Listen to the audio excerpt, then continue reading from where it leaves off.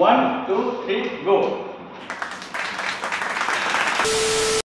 ये है दोस्तों सबसे बेस्ट सेलिंग एसयूवी जिसने मारुति ब्रेजा को भी टक्कर दिया। कॉम्पैक्ट एसयूवी सेगमेंट में ये किंग बनी हुई। तो कौन सी गाड़ी ज़्यादा सस्पेंस न बनाते हुए अनवील कर दें। One two three go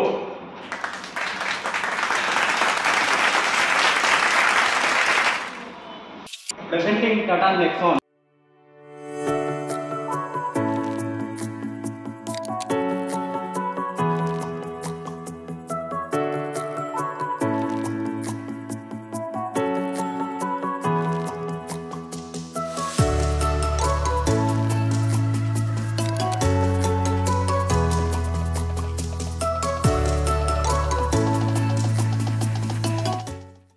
हाल फ़िलहाल में लॉन्च हुआ है आईफोन 15 सीरीज़ तो आईफोन 15 में मतलब आईफोन जब भी करता है, आप अपने फ़ोन्स में कंपटीशन से हमेशा पाँच साल आगे रहता है। तो ये कर दिया इस बार हमारे देश के लोग हैं टाटा ने। तो देखो, टाटा नेक्सोन कितनी औसम लग रही है। ऐसा लग ही नहीं रहा है कि ये टाटा नेक्सोन है। दोस्तों, ये वही ब्रांड है जो इंडिका इंडिको बनाया करती थी।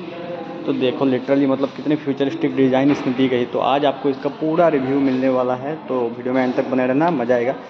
क्रिएटिव एस आपका ये रहने वाला है टॉप मॉडल है, लेकिन पेट्रोल में मैनुअल रहेगा। सो so, भाई, वो वीडियो स्टार्ट करने से पहले ये बता दूँ, जैसा कि आप लोगों को पता होगा, हमारी कार सर्चिंग चल रही है तो पिछले पार्ट में आपने देख रखा है, हमने Honda City and Honda Elevate को भी देखा तो हमने लगभग Honda City and Honda Elevate दोनों को रिजेक्ट ही कर दिया, क्योंकि हमें एक एसयूवी की ज़रूरत है, वो भी डीजल में। तो देखो, जहाँ तक उन दोनों गाड़ियों की बात थी, वो दोनों गाड़ियाँ अच्छी थी तो वो तो अलग बात हो गई तो वो आप उस वीडियो में देख लेना, इस वीडियो को देखने के बाद, अभी नहीं। तो इतना प्यार बनाए रखने के लिए धन्यवाद। हाँ ऐसे ही प्यार बनाए रखना। तो इस बार हम देख रहे हैं दोस्तों टाटा नेक्सॉन को। पहले क्लियर कर दूँ। मैंने टाटा नेक्सॉन अभी खरीदी नहीं है, बस मुझे बुलाया गया था इसका रिव्यू शूट करने के लिए तो आप भी उसी हिसाब से देखो। हाँ मैं अपने व्यूअर्स के साथ कभी भी मिसलीड नहीं कर सकता। आपके साथ मैं हमेशा ऑनेस्ट रहना मैं चाहता हूँ। इसलिए वीडियो स्टार्ट करने से पहले बता दो। ऐसा नहीं कि मैं ये बोलूँ कि भाइयों मैंने गाड़ी खरीद ली है, फेक में, ऐसा कुछ नहीं होने वाला है। तो वीडियो को इन्जॉय करो, फिर लास्ट में बताता हूँ, ये गाड़ी हमने बुक की या नहीं। और यहाँ पर दोस्तों आपको मिल जाता है इसका इंडिकेटर सिक्वेंशियल इंडिकेटर दिया गया है। नीचे आपको मिल जाता है हेडलैम्प्स हेडलैम्प्स के लिए आपको फुल एलईडी दिया गया है। ये आपको एक प्रोजेक्टर मिलता है। नीचे भी आपको दो बैरल्स मिलते हैं जो आपका हाई बीम के लिए काम करेंगे। ये लो बीम का काम है। फ्रंट में आपको पार्किंग सेंसर भी दिया गया है। ये फोर मीटर के अंदर में आने वाली गाड़ी है तो इसके डायमेंशन में कुछ चेंज भी नहीं करते हैं लेकिन जो गाड़ी लग रही है खतरनाक। और ये कलर के साथ में मैचिंग आपको इंटीरियर भी मिलता है। तो इंटीरियर देखने के लिए वीडियो में एंड तक बने रहा। अभी दोस्तों चलते हैं इसका हार्ट देखने। तो दोस्तों, ये है 1.2 litre turbocharge petrol engine power की बात करें तो 120 twenty B H P of power and 170 seventy N of torque देता है. थ्री सिलेंडर इंजन है and B S six phase two ready होने के बाद में थोड़ा पहले से साइलेंट हो गया है. वो पहले वाला कंप्लेंट नहीं कि वाइब्रेशन इसमें आपको मिलेगा. मिलता है लेकिन कॉम्पिटिशन से मतलब बराबरी का ही मिलता है, कुछ ज़्यादा मिलता है नहीं. यहाँ पर आपको इंसुलेशन भी दिया गया है. नीचे आपको कोई गार्ड नहीं मिलता है. ऊपर में भी आपको इंसुलेशन दिया गया है. टायर्स की बात करें तो these R two one five sixty R sixteen sixteen inch के आपको डायमंड कट एलॉयस मिलते हैं। और इस बार जो एलॉयस का डिज़ाइन है, थोड़ी ईवी कार से इंस्पायर रखी गई अच्छी लगती है मतलब कुछ, देखो पर्सनली मुझे ईवी कार उतनी पसंद है नहीं तो उतने अच्छे नहीं लग रहे, बाकी आपको अच्छी लग सकती है। फ्रंट में आपको ब्रेक और ऊपर में आपको सस्पेंशन मिल जाते हैं। ओ आर भेंस ओ आर भेंस में भी आपको यहाँ पर इंडिकेटर दिया गया है। नीचे आपको मिल जाता है कैमरा 360 डिग्री इसमें आपको कैमरा अवेलेबल कराया गया है। यहाँ पर आपको ब्लैक लाइनिंग जो पहले व्हाइट कलर की अजीब सी लाइनिंग आती थी, अब वो नहीं मिलती है। यहाँ पर दोस्तों आपको मिल जाता है request sensor roof rail sunroof हाँ दोस्तों इसमें सनरूफ भी मिलता है। Fifty lakh car sales Tata के अचीवमेंट के लिए लाइक कर देना वीडियो को। कोई तरीका है भीख मांगने का? ऊपर में आपको शार्प फ़ैन एंटीना मिलता है और इस बार जो आप टेल लेंस देख रहे हो पूरे कनेक्टेड टेल लेंस दिए गए टेल लेंस देखने में बहुत अच्छी लगती है। आगे से आपको अच्छी लगे चाहे ना लगे, लेकिन पीछे से तो इंस्पायर्ड लुक देती है। हाँ शुरू शुरू में आपको थोड़ी अजीब लग सकती है, लेकिन जब पुरानी हो जाएगी ह्योंडा की कार्स की तरह आपको अच्छी लगेगी। नेक्सोन की बैजिंग यहाँ पर आपको एक रियर कैमरा एंड ये थ्री डिग्री कैमरा का भी काम करता है। यहाँ पर आपको दो पार्किंग सेंसर्स मिल जाते हैं। और इसका बोट मैं खोल के नहीं दिखा सकता सॉरी लेकिन आपको साढ़े तीन सौ लीटर का बोट स्पेस मिल जाता है। डिपार्चर एंगल गाड़ी का काफ़ी अच्छा रखेगा। अभी दोस्तों चलते हैं, इसके अंदर प्रस्थान करते हैं। तो डोर आपको कुछ इस तरह का मिलता है, पर्पल कलर का इसका डोर दिया गया है। ऊपर में आपको मैट से फिनिश दी गई है। यहाँ पर आपको क्रोम डोर हैंडल, चार पावर विंडो के control driver side power window ही आपको सिर्फ़ वन टच डाउन मिलेगा।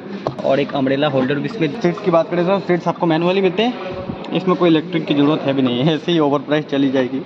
और यहाँ पर दोस्तों आपको मिल जाता है हाइड सीट इस बार जो दोस्तों इंटीरियर दिया गया है, क्या इंटीरियर है यार, देख के मज़ा आ जाता है। और ये देख रहे हो वेंटिलेटेड सीट्स हाँ ठीक सुना, अब वेंटिलेटेड सीट्स भी मिल जाता है। कमाल देखना जादू होने वाला है। देखो, लोगो निकल के आ गया ना। जैसे इसे बंद किया, चली गई। ये देखो। देखो, आ गई ना। ये कमाल करती है। यहाँ पर दोस्तों, आपको कुछ इस तरह का इसका ओवरऑल लेआउट मिल जाएगा। तो यहाँ पर दोस्तों, इसका इल्यूमिनेटेड लोगो मिल जाता है, जो देखने में काफ़ी अच्छा लगता है। यहाँ पर दोस्तों, आपको मिल जाते हैं इन्फोटेनमेंट के कंट्रोल दोस्तों, यहाँ पर आपको मिल जाते हैं इंस्ट्रूमेंट क्लस्टर के कंट्रोल और साथ साथ इसमें अब आपको एडास भी मिल गया है। हाँ लेकिन इस वाले में एडास आता है कि नहीं नहीं दिख रहा है, लेकिन आपको शो हो जाएगा। यहाँ पर दोस्तों आपको मिल जाता है इंडिकेटर्स के कंट्रोल दोस्तों, यहाँ पर आपको मिल जाता है वाइपर्स के कंट्रोल और इस बार ऑटोमेटिक वाइपर्स मिल गए हैं ऑटोमेटिक हेडलैम्प्स भी मिल गए हैं। कुछ इस तरह का मिलता है इसका एमआईडी देखो कितना सुंदर मिलता है इसका इंस्ट्रूमेंट क्लस्टर दोस्तों, मज़ा आ गया देख के। यहाँ से आप चेंज वेंज कर सकते हो, जैसे कि ट्रिप ड्राइवर सीट हाँ इसमें आपको एडास मिल जाता है वहीकल इन्फो टायर प्रेशर हाँ इसमें अब आपको टीपीएमएस भी मिल गया नेविगेशन भी मिल जाती है। यहाँ पर आप नेविगेशन भी चला सकते हो, लेकिन जो इसका अपना नेविगेशन है, वही चलेगा आप गूगल वाला नहीं चला सकते हो, बाकी तो लेकिन इसका लेआउट जो है, काफ़ी अच्छा लगता है। यहाँ पर दोस्तों आपको मिल जाता है आरपीएम मीटर, यहाँ पर आपको मिल जाता है दोस्तों स्पीडोमीटर और जो स्टेयरिंग दिया गया इस बार अजीब से स्टेयरिंग दिया गया है हीरोडाई के जैसे, लेकिन इसका जो ग्रिप है काफ़ी अच्छा दिया गया है। यहाँ पर आपको मिल जाती है पर्पल सी फिनिश जिस कलर की कार लोगे उस कलर का मिलेगा। स्टेयरिंग की बात करें तो दिस इज़ टिल्ट हाँ only tilt telescopic steering wheel नहीं मिलेगा। यहाँ पर दोस्तों आपको कुछ फिनिश मिल जाती है टेक्सचर से फिनिश और देखने में भी ये अच्छी लगती है। ट्रायर और पैटर्न इसमें भी नहीं दिया गया, ये सिर्फ़ टेक्सचर है। यहाँ पर आपको आर के कंट्रोल मिलते हैं, और ऑटोमेटिकली एडजस्टेबल एंड फोल्डेबल मिल जाते हैं। ऊपर में दोस्तों आपको मिल जाता है सनवाइजर सनवाइजर में, लेकिन आपको कोई वैनिटी मिरर नहीं मिलता है। इन्फोटेनमेंट सिस्टम इन्फोटेनमेंट सिस्टम का लेआउट काफ़ी अच्छा रखा गया है और देखने में भी ये काफ़ी सुंदर लगता है इस बार इसमें काफ़ी कम बेजल्स दिए गए हैं। यहाँ से आप ऐप वेप चला सकते हो और इसमें आपको एयर प्योरीफायर भी मिल जाता है। Amazon Alexa A Q Y climate media cover ये सब आप देख सकते हो। इतने सारे फीचर्स का कोई यूज़ तो आता नहीं है, फिर भी गाड़ी में होनी चाहिए। ये आपको पूरी लेदर कवर्ड मिलती है। यहाँ पर दोस्तों को इंजन स्टार्ट स्टॉप बटन और नीचे आप जो ये डिस्प्ले देख रहे हो डिस्प्ले नहीं है पियानो फिनिश में दी गई है लेकिन काफ़ी प्रीमियम लगती है। दोस्तों विश्वास नहीं होता कभी कभी ये टाटा ही है ना। यहाँ पर दोस्तों आपको हज़ार के कंट्रोल एसी के कंट्रोल्स मिल जाते हैं और ये पूरा टच से चलता है। यहाँ पर बस आपको ऐसे करना है हज़ार भी अगर आपको जलाना है, बस ऐसे टच करोगे, जल गई। फिर अगर इससे दबाओगे, बंद हो जाएगी। और दोस्तों, यहाँ पर जैसे कि मैंने दिखाया डैशबोर्ड इसका काफ़ी लंबा चौड़ा रखा गया है। यहाँ पर आपको कोई सॉफ्टेज नहीं मिलता है, लेकिन देखने में सुंदर है। महिंद्रा सबसे ज़्यादा डरती है इस आर से। महिंद्रा की किसी गाड़ी में नहीं मिलता है। चलो, उनकी बात है, लेकिन इसमें आपको मिल जाता है electrochromic day night I R यहाँ पर आपको L E D cabin lamp और सनरूफ सनरूफ ठीक ठाक साइज़ का है, खड़ा हो सकते हो।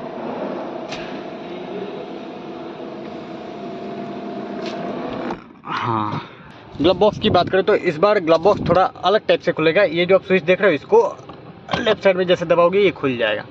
और ये इल्यूमिनेटेड भी है कूल भी है, इतना डीप भी है मतलब आप कुछ भी इसके अंदर में रख सकते हो। काफ़ी अच्छा दिया गया है इस हिसाब से। यहाँ पर आप लैपटॉप वैपटॉप भी रख सकते हो, साथ में एक पेन होल्डर भी दिया गया है। ग्लव बॉक्स किसी को बनाना है तो टाटा से बनाना सीख जाओ भाई। यहाँ पर आपको ट्विटर्स की ब्रांडिंग स्पीकर्स की ब्रांडिंग और ये जो आप डोर हैंडल देख रहे हो, पूरा पियानो एंड काफ़ी माचो सा रखा गया है। सीट्स की बात करो तो इस बार तो सीट्स में टाटा ने खेल दिया। इतनी कुशनी एंड इतनी कंफर्टेबल सीट्स है। यहाँ पर आपको एक और ये वेंटिलेटेड सीट्स तो है ही। यहाँ पर आपको मिल जाता है ग्लब बॉक्स वायरलेस चार्जिंग हाँ दोस्तों, इसमें आपको वायरलेस चार्जिंग भी मिल जाता है। हैंड ब्रेक तीन drive modes eco city sport drive गाड़ी ऑन होनी पड़ेगी। सिक्स स्पीड का मैनुअल ट्रांसमिशन यहाँ पर आपको ट्वेल्व बी पावर सॉकेट दो यूएसबी सॉकेट और ये आपका wireless Android auto and Apple CarPlay चलाती है। अभी दोस्तों सेकंड रो स्पेस चेक करते हैं। सेकंड रो स्पेस चेक करने के लिए अपने हाइट के हिसाब से एडजस्ट कर लेता हूँ सीट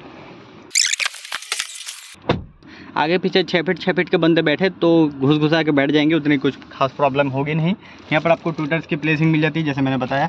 ये भी आपको फुली लेदर मिलता है, काफ़ी प्रीमियम लेदर यूज़ किया गया है। यहाँ पर हाँ हाथ रख सकते हो पावर विंडो पोर्ट होंगा grab handle speaker one litre bottle holder और इस साइड में आपको मिल जाता है एक आमरेस्ट। आमरेस्ट आप देख सकते हो, दो ग्लास दिए गए हैं। लेकिन इस आमरेस्ट की एक खराबी ये है, यहाँ पर जब आप हाथ रखोगे, ये थोड़ा चुभ रहा है। सीट्स भी काफ़ी कंफर्टेबल इस बार दिए गए। Under thigh support is very good headroom की बात करो तो हेडरूम ठीक ठाक मिल जाता है मतलब आगे पीछे छः फिट छः फिट के बंदे बैठे तो बैठ सकते हैं, कोई प्रॉब्लम की बात है नहीं।